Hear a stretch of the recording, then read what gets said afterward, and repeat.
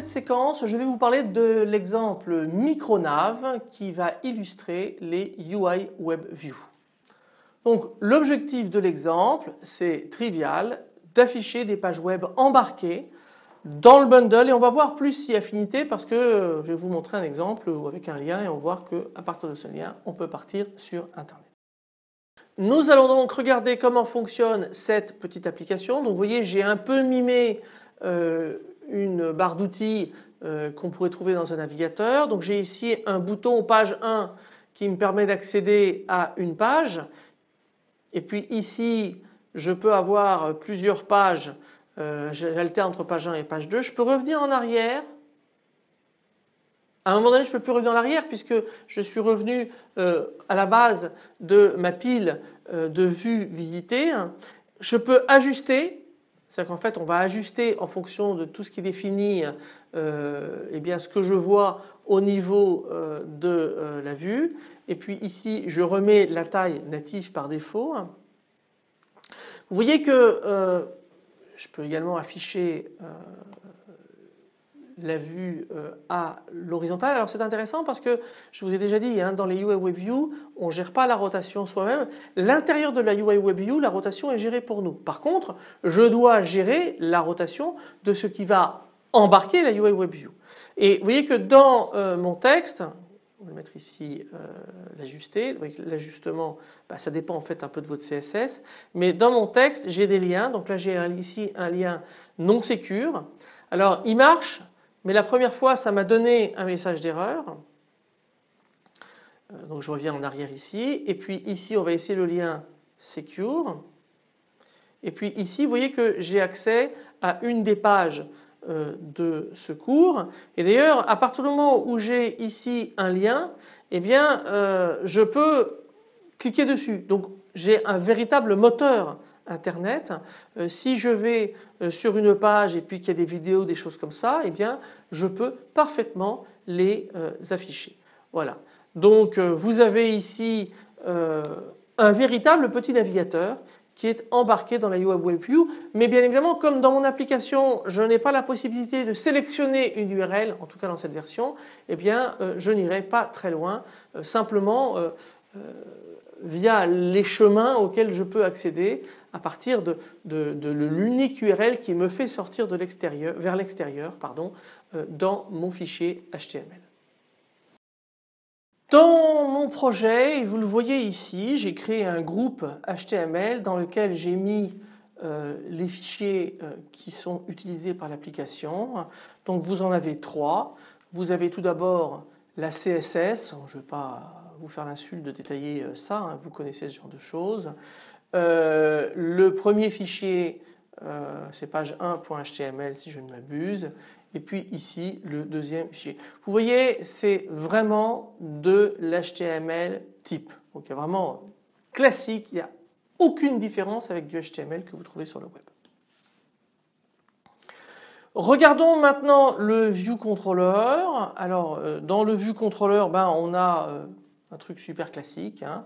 C'est-à-dire que ici j'ai euh, le View Load et puis le View Will Transition to Size parce que je gère proprement euh, l'orientation. Et intéressons-nous maintenant à la classe ma vue. Alors la classe ma vue, bien évidemment, je vais d'abord avoir une variable VW qui est une. Je vais ici avoir trois euh, boutons et puis un petit label, c'est pour mimer cette espèce de toolbar que l'on a au-dessus des navigateurs. Regardons euh, la méthode init. Donc euh, ici, eh bien, je positionne le titre des trois boutons, page 1, ajuster, arrière, et puis je centre le label du bouton 3, oui bon j'aurais pu le mettre, hein, c'est pas grave. Ici euh, mon label euh, je mets une police de caractère assez fine pour pouvoir afficher des URL un peu longues. je positionne la couleur de fond, je positionne les actions pour les trois boutons et puis ici je mets une couleur de fond donc j'ai pas utilisé des couleurs prédéfinies là j'ai voulu jouer et vous avez ici cette espèce de bleu très clair qui est défini. Et puis ben, je fais les add view. je fais appel à des signes dans format et s'il y a un protocole de délégation associé à une UI WebView, ça veut dire qu'il faut que je détermine qui est le délégué. C'est celui vers qui on va renvoyer les appels. Parce que vous pouvez avoir dans une application plusieurs vues, enfin excuse-moi, plusieurs classes qui respectent le WebView Delegate Protocol. Et à ce moment-là, évidemment, il faut qu'on soit capable de déterminer pour telle vue vers quel objet on va. Donc ici, je dis que c'est moi-même parce que je vais tout gérer en local. Bon, ça c'est le init euh, que m'impose Xcode et qui n'est pas appelé parce que j'utilise pas storyboard. J'ai le dessine dans format, donc euh, voilà, hein, la gestion, euh, vous vous souvenez qu'il n'y a pas de status bar, donc du coup je positionne les choses différemment selon qu'on est à l'horizontale sans status bar ou à la verticale avec un status bar. Et puis bah, ici, on a déjà vu ce code, c'est archi classique, je ne vais pas revenir dessus. Maintenant je vais implémenter euh, les méthodes. Donc la première méthode c'est aller ici. Aller ici c'est une bascule entre la page 1 et la page 2. Euh, d'ailleurs euh, je m'amuse à changer le nom du bouton comme il faut. vous voyez que ici je fais une nouvelle URL et à partir de cette URL qui dépend euh, du bouton bien évidemment, enfin de l'état du bouton plutôt, euh, eh bien je construis ma requête et je fais ici un load. Donc ça va provoquer le chargement de la requête. C'est une des manières de mettre à jour euh, une vue. Et puis j'ai ici la fameuse façon d'ajuster, c'est-à-dire qu'en fait dans une web view, si vous regardez les différents attributs, bien vous avez un attribut scale page to fit euh, et il va s'arranger pour que la page tienne dans l'espace qui est alloué à la vue. Évidemment, si la vue elle fait un demi-écran, la page tient dans son demi-écran, vous avez intérêt à gérer la CSS comme il faut. Voilà, et puis euh, ici, donc je change le nom en fonction de la bascule qui fait que je positionne cet attribut à vrai ou à false. Et puis là, par contre, vous voyez, je fais un set lit display parce que alors je fais un reload.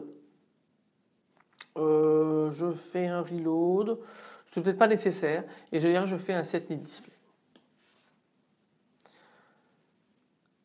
Pour revenir en arrière, donc là c'est simplement utiliser la pile, donc je fais ici un go back.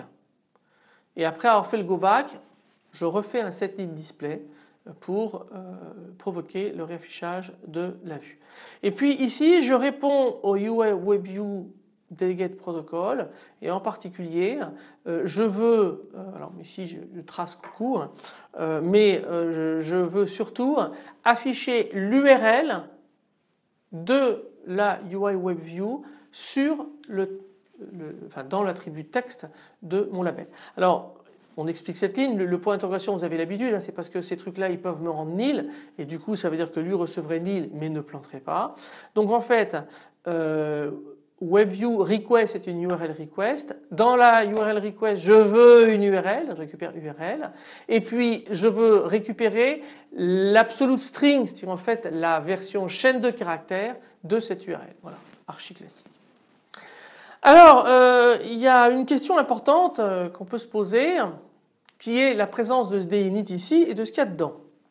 Alors ça, c'est euh, une grosse interrogation, parce qu'en fait, dans la documentation, il y a ceci où en gros on explique que quand vous avez une UI WebView, eh bien, euh, et que vous avez positionné un délégué, vous devez impérativement, lorsque vous disposez de la UI WebView, mettre le délégué à nil. Alors moi je l'interprète comme, bah, il faut mettre délégué à nil dans le DINIT.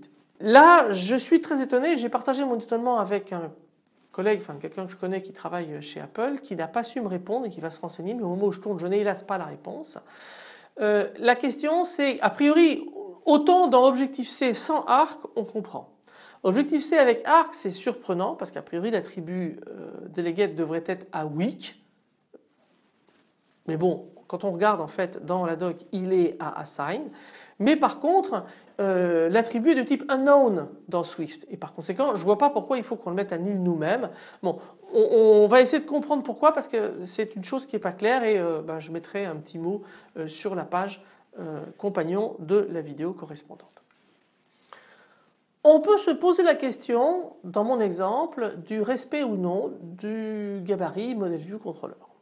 En particulier, euh, vous voyez que j'ai des actions associées à ces méthodes-là qui se retrouvent euh, en fait traitées au niveau de ma vue directement et non pas renvoyées au vue contrôleur comme on pourrait euh, s'y attendre. La rotation, elle, elle reste dans le vue contrôleur mais de toute façon elle est associée par défaut au view controller. C'est parfaitement normal. Bon, vous êtes d'accord qu'on n'avait pas euh, vu la tête de l'application de modèle. Euh, en fait, euh, ici, les actions sont extrêmement locales. Et par conséquent, ça peut avoir un sens de rattraper au niveau de ma vue des événements qui n'ont qu'un effet extrêmement local. Tandis que la rotation, déjà, ça va avoir un, impact sur l'ensemble des entités de la vue. Là, ici, euh, ces événements-là, ils n'ont un impact que sur la UI WebView, qui est une partie de la vue. Et puis, euh, je ne vais pas vraiment chercher des données qui sont fournies par un modèle, hein, puisque c'est des fichiers statiques qui sont embarqués dans le bundle de l'application. Voilà. Donc, ça a un sens. Euh, c'est un choix de design, mais faire en sorte que ici on rattrape tout au niveau du view controller. Euh, bon, ça alourdirait probablement le code parce qu'il faudrait que quelque part le view controller, ben, il va faire appel à des méthodes ici, ou alors il faut lui donner l'accès aux attributs directement. Bon, mais c'est jouable, c'est un choix de design, donc c'est pas une violation du MVC, c'est une interprétation du MVC. Que dire en guise de conclusion? Ben, Vous voyez que c'est pas euh, extrêmement compliqué. Hein. Euh, la version Objective-C, ben, vous pouvez la faire en exercice, hein. c'est vraiment très proche. Il faut juste ne pas oublier que les URL deviennent des NSURL et les URL request deviennent des NSURL request. Mais en gros, euh, le gros de la difficulté, on pourrait dire, il réside quasiment là, et puis dans le fait de, faire les choses à la manière euh, d'Objective-C. Donc ça veut dire que euh, vous savez maintenant gérer des pages web dans vos applications, que donc vous n'avez plus du tout d'excuses pour fournir de jolies documentations intégrées à vos applis et donc d'être fournisseur de morceaux de fantastique manual. Et puis bien évidemment plus tard on verra euh, de la navigation un petit peu plus sophistiquée euh, à l'aide de UI WebView. Je vous remercie de votre attention, à bientôt.